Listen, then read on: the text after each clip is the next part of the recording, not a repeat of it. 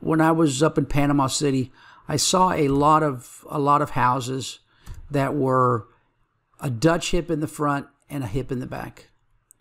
Well, there is no roof in Xactimate where you can do that as one roof. So what you do is you create it into two roofs and you put them together. I'll show you how to do that. So the first thing I'm going to do is I'm going to hit my F key. And if you want to follow along here, this is this is a good exercise for you. So we had a Dutch hip in the front and a hip in the back. So I'm going to hit the F key and I'm going to get to go to my uh, I started to rotate it, which I probably need to do. I'm going to hit the tab key till I get to my Dutch hip. There's there's partial hip. There's my Dutch hip right there.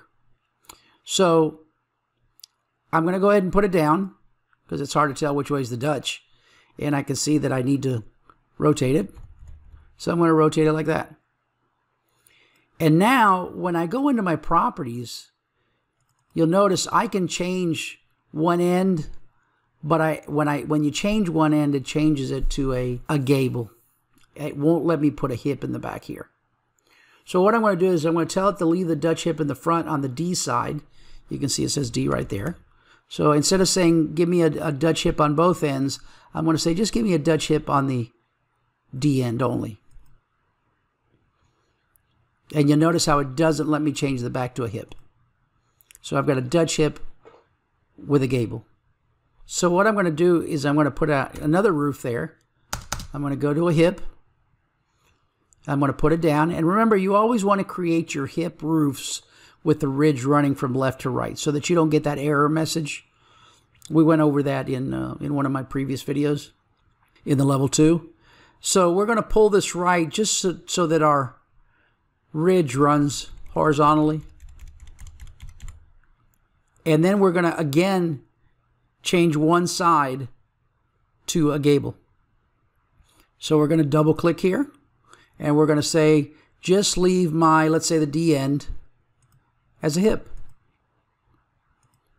There we go. And now we've got our hip in the back.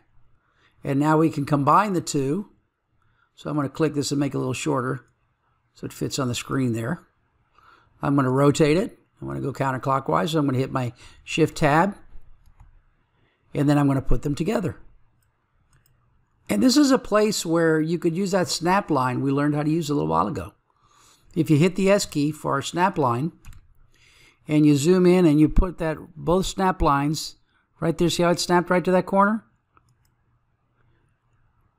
Now when I grab this one, it's going to snap right there horizontally and vertically, right there to make a one roof. Then I'm going to click on the snap line. I'm going to delete it.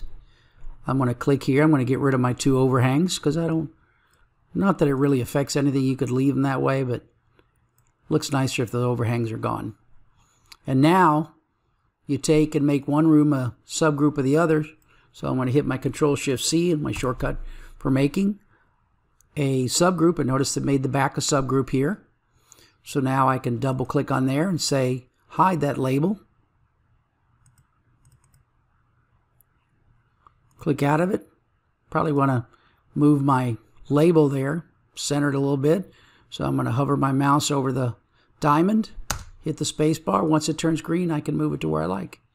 And now I've got a roof, two roofs that I turned into one because it's what I needed. And I've got my Dutch hip in the front and my hip in the back. So if you can't come up with something that you need that Xactimate won't do, see if it can be broken up into parts. And then just put the parts together. Well, that's the end of the video. If you like this video, give it the old thumbs up. I think it's down here somewhere. Or even better, subscribe so that you get to see any of the future videos that I post on here.